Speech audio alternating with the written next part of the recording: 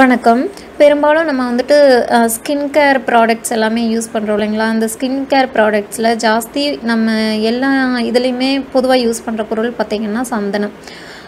ஏன்னா சந்தனத்தில் வந்துட்டு நிறைய நம்ம ஸ்கின்னுக்கு தோதுவான நம்ம ஸ்கின்னுக்கு நிறைய நன்மைகள் தரக்கூடிய ஒரு தன்மை அதில் நிறைய இருக்குது குறிப்பாக பார்த்திங்கன்னா முகப்பெரு பிரச்சனையால் அவதிப்படுறவங்க இந்த சந்தனத்தை பயன்படுத்தினா நல்ல ஒரு பலன் கிடைக்கும். அது மட்டும் இல்லாமல் இது வந்துட்டு எ- அதிகப்படியான எண்ணெய் பசை இருக்கிறவங்க அப்புறம் வந்துட்டு கரும் சருமத்தில் இருக்கிற கருமைகள் கரும்புள்ளிகள் இது எல்லாத்தையும் நம்ம போக்குறதுக்கு நம்ம சந்தன ஃபேஸ் மாஸ்க் வந்து யூஸ் பண்ணலாம். அதே மாதிரி பார்த்திங்கன்னா இந்த மாதிரி நம்ம சந்தனத்தை யூஸ் பண்ணும்போது என்னென்னு பார்த்தீங்கன்னா சருமத்தில் இருக்கிற அழுக்குகள் எல்லாமே வந்துட்டு நீங்கிடும். சரும பிரச்சனைகள் வந்துட்டு குணமாகி சருமம் வந்துட்டு நல்ல ஒரு நல்ல ஒரு ஷைனிங்காக இருக்கும்.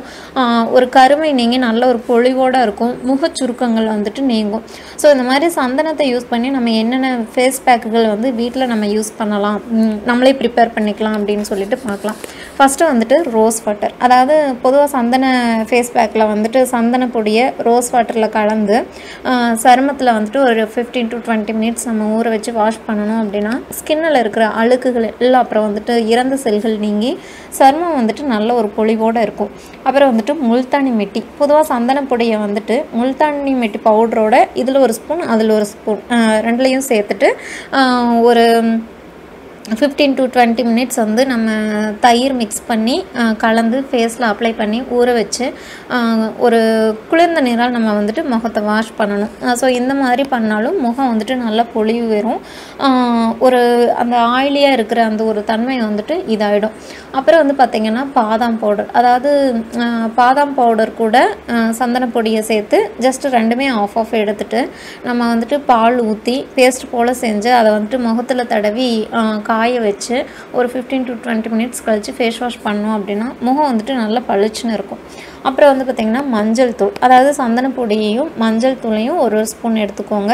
ஒரு துளி எலுமிச்சை சாறு இல்லைன்னா பால். இது ரெண்டில் ஏதாவது ஒன்று இல்லைன்னா ரெண்டுமே கூட நம்ம மிக்ஸ் பண்ணிக்கலாம். ஊற்றிட்டு ஒரு ஃபிஃப்டீன் மினிட்ஸ் அப்ளை பண்ணிவிட்டு கழுவுனீங்க அப்படின்னா முகம் வந்துட்டு நல்ல ஒரு பொலிவோடு இருக்கும். அப்புறம் வந்துட்டு முட்டை இல்லைன்னா முட்டை மற்றும் தேன். அதாவது இந்த சந்தன ஃபேஸ் பேக் வந்துட்டு முட்டையை நல்லா வந்துட்டு அடிச்சுக்கணும். அது கூட வந்து தேனும் சந்தனப்பொடியும் மிக்ஸ் பண்ணிக்கணும். சந்தனப்பொடியும் மிக்ஸ் பண்ணிவிட்டு முகத்தில் தடவி ஒரு டுவெண்ட்டி மினிட்ஸ் ஊற வச்சுட்டு நம்ம இது பண்ணோம் அப்படின்னா சருமத்தில் இருக்கிற சுருக்கங்கள் நீங்கி அழுக்குகள் எல்லாமே வந்துட்டு வெளியேறி நம்ம சீக்கிரமாக ஏஜாக இதாகிறது. இல்லைன்னா வந்துட்டு நம்மளுக்கு சருமம் வந்துட்டு மாசு மறுவற்று நல்ல ஒரு யங்காக காட்டுறதுக்கு ரொம்ப ஹெல்ப் பண்ணுது. அப்புறம் வந்து பார்த்திங்கன்னா தயிர் அதாவது தயிர் வந்துட்டு ஒரு சிறந்த கிளின்சர்னு சொல்லிட்டு நம்மளுக்கு எல்லாத்துக்குமே தெரியும். அதனால் தயிர் கூட வந்துட்டு சந்தனப்பொடியை சேர்த்து மிக்ஸ் பண்ணி நம்ம மாஸ்க் போட்டால் சருமம் மென்மையாக இருக்கிறதோட வெள்ளையாகவும் ஆகும். அதே மாதிரி எலுமிச்சை சாறு கூட தனியாக சந்தனப்பொடியை சேர்த்து கலத்து முகத்துக்கு ஃபேஸ் மாஸ்க் போட்டோம் அப்படின்னா சருமத்தில் இருக்கிற இறந்த செல்கள் நீங்கிறதோட பருக்கள் வராமலும் நம்மளால் நம்ம ஸ்கின்னை காத்துக்க முடியும். அப்புறம் வந்துட்டு தக்காளி. சந்தன பெ அதாவது சந்தன பொடியில் வந்துட்டு தக்காளியும் ஜஸ்ட் கொஞ்சம் ரெண்டு டீஸ்பூன் சந்தனம் எடுத்துக்கோங்க. ஒரு ஆஃப் தக்காளி எடுத்துட்டு மிக்சியில் போட்டு ஒரு அடி அடிச்சுட்டு அதை வந்துட்டு வேணால் கூட வந்துட்டு கொஞ்சம் முள்தண்ணி மிட்டி சேர்த்துக்கலாம். இதை வந்துட்டு முகத்துக்கு ஃபேஸ் போட்டோம் ஃபேஸ் மாஸ்க் மாதிரி போட்டோம் அப்படின்னாலும் முகம் வந்துட்டு நல்ல ஒரு பொலிவோடு இருக்கும். அப்புறம் வந்து பார்த்திங்கன்னா பால். அதாவது சந்தனத்தில் வந்து நோய் எதிர்ப்பு சக்தி அதிகம் இருக்கிறதுனால அது வந்து சருமத்தில் ஏற்படுற பிரச்சனைகளை நீக்கிறதுக்கு ரொம்ப ஹெல்ப் பண்ணுது.